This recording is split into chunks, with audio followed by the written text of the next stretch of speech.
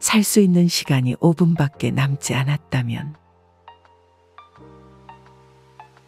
피고는 범죄적 음모에 가담하여 러시아 정교회 및 최고 권력에 대한 불손한 표현으로 가득한 서신과 반정부 문서를 유포하려 한 죄로 총살형에 처한다.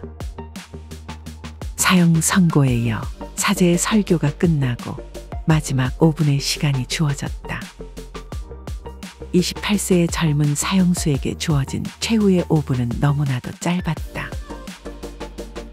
이 마지막 5분을 어떻게 쓸까? 동료 사형수들에게 작별 인사를 하는데 1분, 지나간 삶을 되돌아보는데 1분, 나머지 1분은 자연의 아름다움과 땅에 감사하며 작별을 고하기로 했다.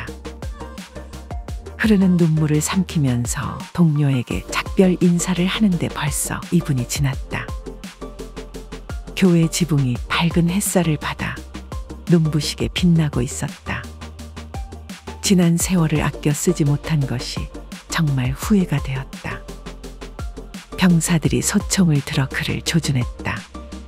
그때 마침 마차 한 대가 광장으로 질주해 들어왔다. 말에서 내린 시 종무관이 가명서를 낭독했다.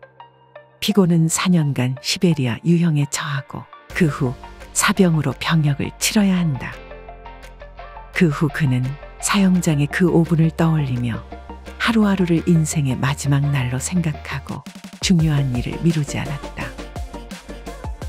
그리하여 죄와 벌, 카라마조프가의 형제들, 백야 등 수많은 대작을 남겼다. 그가 바로 러시아의 대문호 표도르 도스도예프스키이다. 상자에 담긴 초콜릿처럼 도시락에 담긴 김밥처럼 하나 둘 무심코 먹어치우다 보면 어느새 텅 비어버린 인생의 상자를 당신도 발견하게 될 것이다.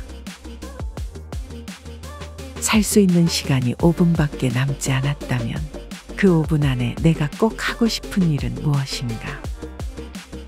영상이 유익하셨다면 구독과 좋아요 눌러주세요.